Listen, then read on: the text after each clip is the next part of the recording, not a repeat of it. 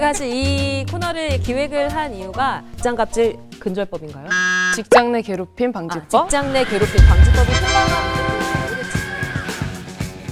7월 16일부터 이제 직장 내 괴롭힘 방지법이 시행이 됩니다. 고용노동부가 발표한 매뉴얼 등에 따르면 회사는 직장 내 괴롭힘 방지법에 맞게 취업 규칙을 변경을 해야 된다라고 나와 있어요. 그러면 지금 이 시점, right now, 지금 시점에 많은 노동자들이 우리 회사가 그대로 그거를 제대로 하고 있는지 안 하고 있는지를 확인을 하려면 뭘 봐야 하는지, 그러니까 취업 규칙이 어떻게 되어 있어야 하는지 좀 알려주세요. 7월 16일이 됐는데 취업 규칙 개정되지 않았으면 법을 위반한 거라서 과태료가 부과될 수 있거든요. 취업 규칙이 어떻게 변경이 돼야 되는 거예요?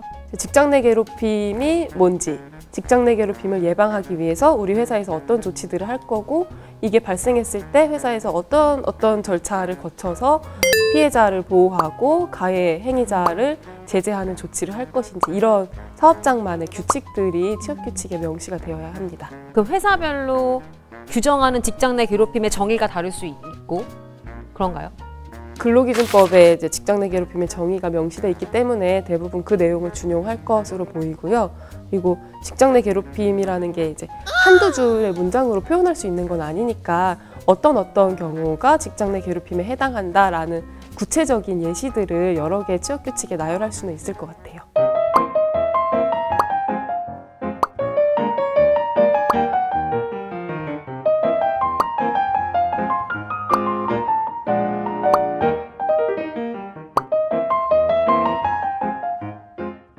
어떤 위원회나 뭐 괴롭힘, 뭐 신고, 뭐 창구 이런 거를 만들어야 한다라고 써 있었던 것 같은데 그건 맞나요? 그게 필수 사항은 아닌데요.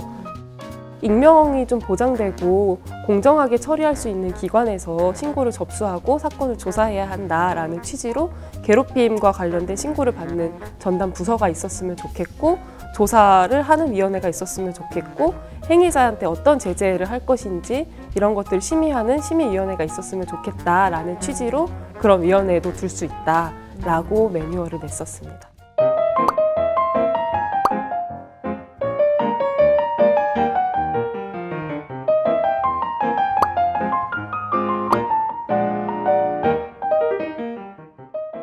그러니까 이걸 보시는 혹시 뭐 을뿐만 아니라 어떤 사업주인 회사분들 회사에 계시는 뭐 분들도 책임이 있으신 분들도 예, 법의 시행에 맞게 그런 것들을 좀 잘 정비를 하시길 바랍니다. 하셔야 합니다. 어떻게 연락이 가고 있나요? 계속 만들어야 된다고? 사용자한테는? 안 되면 돈을 내야 되니까 좀뭐 모르시는 분은 없겠죠?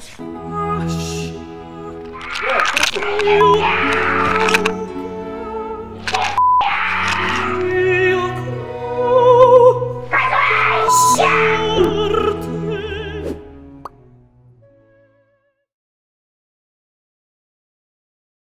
you.